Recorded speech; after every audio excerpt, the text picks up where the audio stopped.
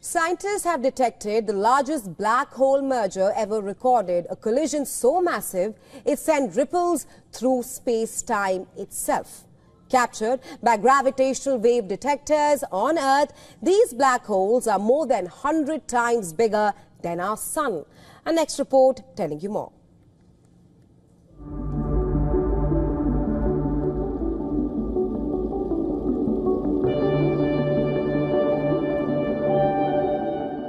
The cosmos, a realm of unfathomable power and mystery, has once again unveiled a spectacle that challenges the very foundation of our understanding. A cosmic tremor, a silent symphony echoing across billions of light years, has just reached Earth. Two monsters of the universe, each tens of times the mass of our Sun, met in a violent embrace, merging into one supermassive black hole unlike anything seen before.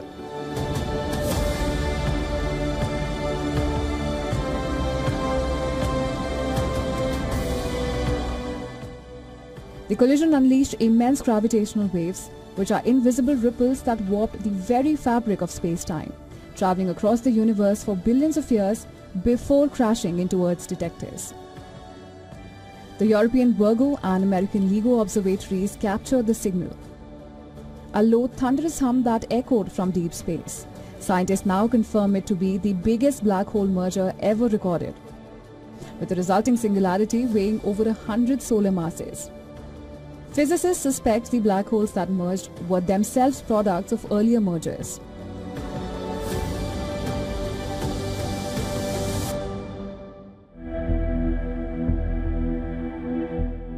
That would explain how they came to be so massive and why they were spinning so fast, as merging black holes tend to impart spin on the object they create.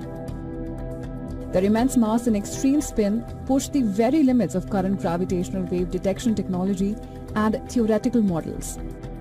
This discovery strongly suggests a hierarchical formation where these colossal black holes may themselves be the products of earlier, smaller mergers, a cosmic lineage of ever-growing giants. Bureau Report, WION World is One.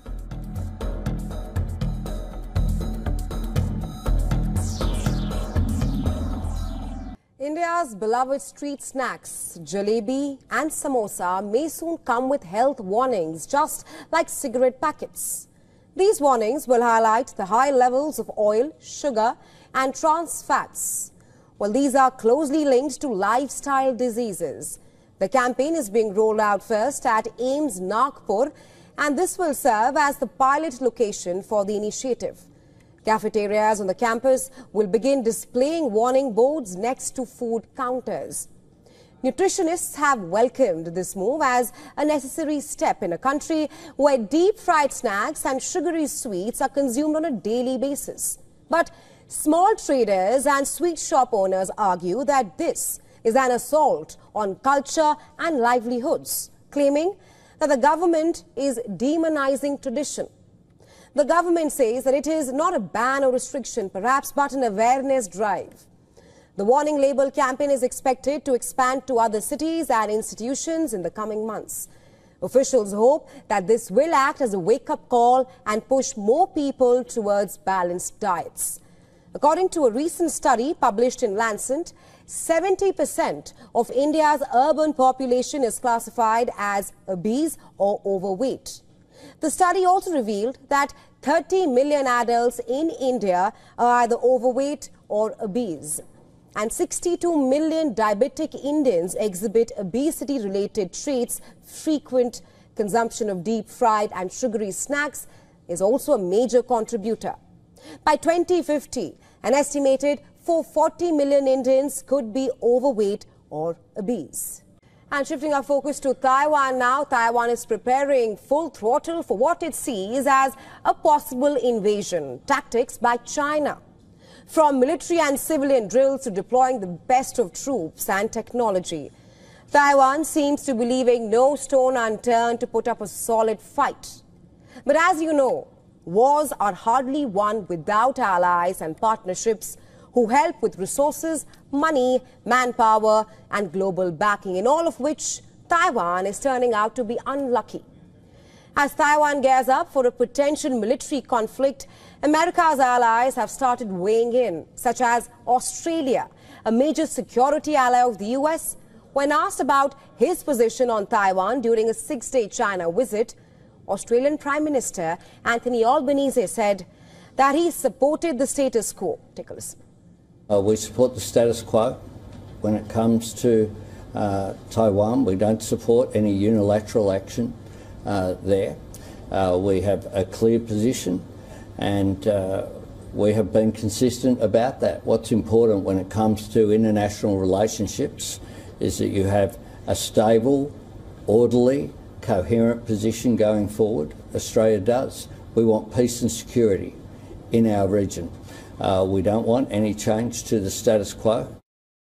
Well, earlier, Australia's Defence Industry Minister Pat Conroy said that the country will not commit troops in advance to any conflict. This is in response to a report that claims that the Pentagon has urged its trusted allies to clarify their stance should a situation arise where the United States and China enter into a war on the Taiwan issue. In an interview with the Australian Broadcasting Corporation, Conroy said that Australia prioritizes its sovereignty and said that the decision will be determined by the government of the day. Well, first, I don't disclose uh, confidential discussions, but I make a couple of broad points. One, we don't engage in hypotheticals. We don't discuss hypotheticals. But secondly, the decision to commit Australian troops to a conflict will be made by the government of the day. Not in advance, but by the government of the day, and that's our position, and it's been long established. Australia in its own backyard too is stocking up its war arsenal. It opened its largest ever war-fighting exercise with the U.S. involving 30,000 troops from close to 20 nations.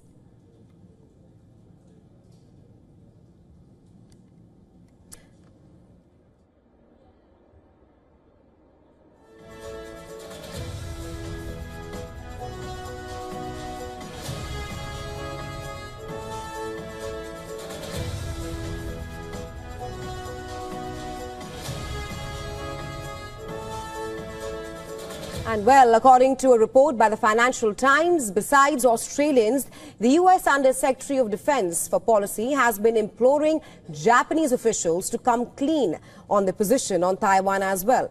Important to note here is that both Australia and Japan are members of the Quad Alliance alongside India and the U.S.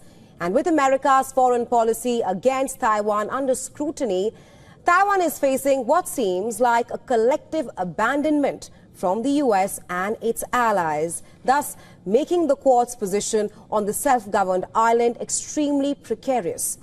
Where does all of that leave Taiwan is the question we ask tonight. Well, at least 89 people have been killed in Syria's southern Sweida province as clashes between Sunni Bedouin tribes and Druze fighters raged for a second day on Monday.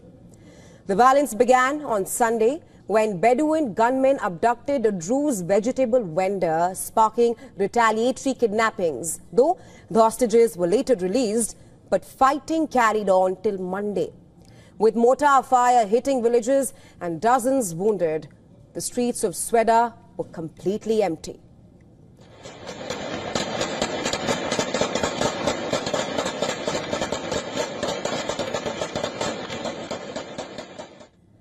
Well, according to the Syrian Observatory for Human Rights, death toll includes 46 Druze fighters, 4 civilians, 18 Bedouin fighters and 7 unidentified people in military uniforms.